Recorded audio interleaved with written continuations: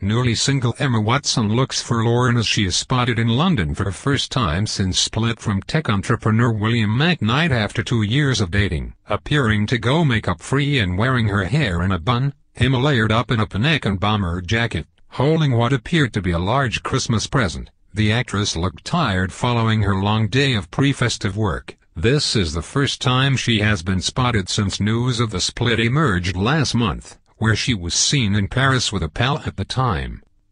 The actress was last seen with the tech entrepreneur, 37, on a dinner date in New York City in late May. It's claimed the couple have subsequently parted ways, with a source close to the Ivy League-educated pair telling Us Weekly they split earlier this year. A representative for Watson declined to comment when approached by DailyMail.com. The duo were first spotted together in October 2015 at a showing of the Broadway musical Hamilton in New York City.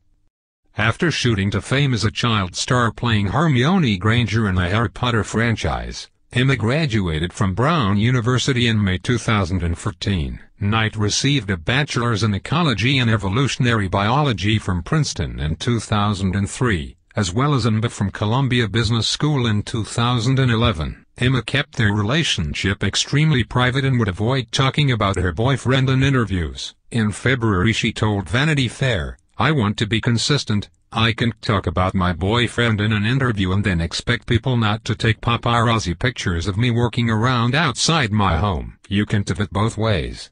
She continued, I've noticed, in Hollywood, who you're dating gets tied up into your film promotion and becomes part of the performance in a circus. I would hate anyone that I were with to feel like they were in any way part of a show or an act. Things seemed to be serious between the couple as it was reported in February that the American businessman had introduced Emma to his parents. His mother Catherine told the Daily Mirror newspaper at the time, I have met Emma, and she's a wonderful girl. We don't see them very often because he's busy and working very hard.